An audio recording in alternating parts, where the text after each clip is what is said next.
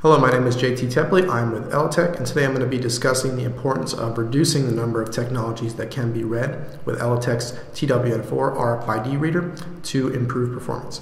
Our TWN4 is a dual frequency all-in-one reader, and that it can read all technologies all the time, whereas most other readers are, are single frequency and designed to only read one or two technology types at a time. Although this is a great feature of the TWN4, we strongly recommend reducing the number of technologies that can be read to improve performance, whether it be identification distance, increasing detection speed, and also increasing security. And that when you have multiple transponders in close proximity, that it will only pick up the desired transponder and ignore all other unwanted ones.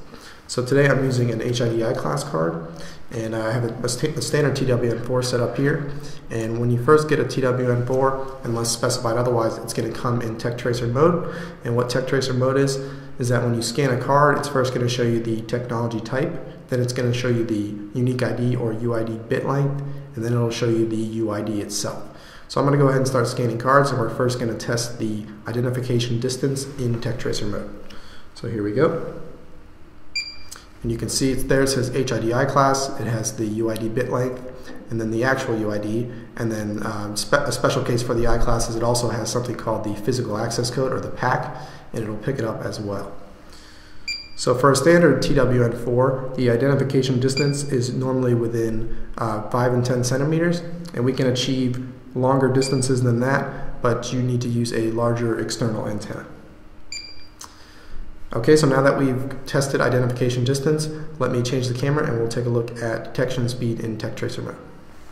Okay, so now we're ready to test the detection speed of the TWN4 in tech tracer mode. And I'm going to scan the same iClass card, and I want you to pay attention to how fast my hand moves relative to the reader. So I have to go about this speed for the reader to scan. That time it missed the pack number because I went a little too fast. There it goes. I'm trying to keep it at the same level each time. You can see if I go too fast, it'll, it'll miss the tag. So there you get a feel for how fast my hand has to move in Tech Tracer mode. And then as I mentioned before, there's uh, also another issue when you're in Tech Tracer mode and there's multiple transponders in close proximity, there's no telling which tag it'll pick up. So I also have here a couple more transponders. This is a MasterCard, a prepaid MasterCard debit card, and it has a built-in RFID tag. It's a uh, MIFARE tag and I'm going to put it into my wallet here. And then I also, I'm going to use that same iClass card and this could maybe be my badge for work, for example. I'll put it in the same pocket. And then I also have a low frequency tag, a Casi Rusco key fob, and I'll also put that in my wallet. And you'll see when I scan my wallet here, and let's say I'm trying to badge into work, so I'm just trying to badge the iClass card, there's really no telling which tag it'll pick up because it's looking for all technologies. So let's go ahead and try to scan it. That time it got the Casi Rusco card, and the low frequency tags um, tend to read, be read better at longer distances, so that's probably why it's picking it up. Let's try it again. Still getting the Casi Rusco card. Let's try it one more time.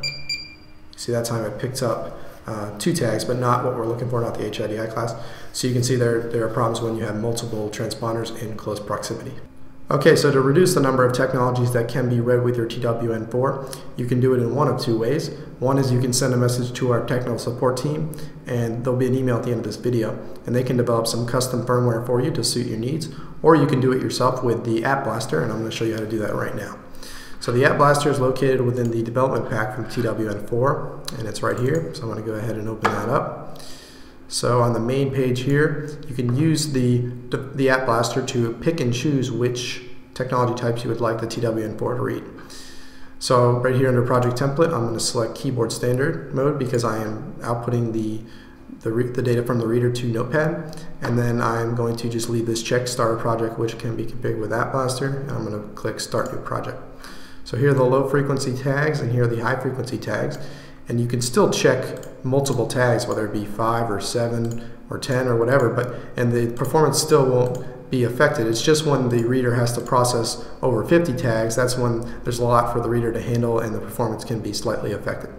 But anyway, I'm just going to select HID iClass just to keep it simple, and I click blast, and it takes five to second, seven seconds to program, and it'll beep when it's done. And you can always put it back into Tech Tracer mode, and to do that, you would go back to the Manage Project tab, and this time you're going to select create a project based on a given source code press Start New Project, then select Source, and you have to find your development pack. And then within the development pack, under the Apps folder, is something called Tracer here, and you double click that, and then you would just click Blast, but I'm going to leave mine set up to only read HID iClass. Okay, so now that I've reduced the number of technologies that can be read with my TWN4, I'm going to go ahead and scan the same iClass card and we're going to retest identification distance. And this time when I scan the card, it's, it's no longer in TechTracer mode. So the only thing that's going to show up is the UID number here because uh, after, in a real application after installation, that's really the only data you're interested in. You're, you're not interested anymore in the technology type because you already know what it is or the UID bit length. So here we go, I'm going to start scanning this card again. And you'll notice now my hand can be a little bit further away than it could before in TechTracer mode. And this is just because the reader is not now not looking for over 50 different technologies and it has a lot less to process, so the performance has improved. Okay, so now that we've retested identification distance, let's take another look at detection speed. Okay, so now we're ready to retest the detection speed of the TWN4, this time with the number of technologies reduced and it's set up to only read iClass. So I'm using the same iClass card as I used before in the last example. You can see I can move my hand a lot faster than I could before. Just do it a couple more times here. And then finally, back to the wallet example, I have the same setup I did before with the MIFARE and uh, Casi-Rusco transponders. So the three transponders in the wallet are as follows, and we're looking to scan only the HID iClass card and ignore the other two. So here we go. And you can see the UID here matches that of the HID iClass card. So it's doing what we want, and it's scanning the HID iClass transponder while ignoring the MIFARE debit card and the Casi Rusco key fob. And finally, a great product by Elatec is the TWN4 Tech Tracer Kit, and it's a great tool if you're trying to test multiple different technologies and determine which transponder type is right for your application. In the kit, you're going to get the TWN4 itself, you're going to get 10 various card transponders, you're going to get two key fobs, a snap-in holder and a bracket holder, which either can be used to hold the TWN4 in place. And you're also going to get a USB stick with various information such as the development pack, data sheets, and also the user manual for the TWN4. So if you'd like to purchase a Tech Tracer kit or the TWN4, you'd want to send an email to our sales and customer support team. And it's the first or second email you see there, depending on where you are in the world. The third email down is our technical support team. If you have any technical issues, such as uh, getting custom firmware developed or any further questions on configuring your TWN4, that would be the email to send a message to and they'll get back to you as soon as possible.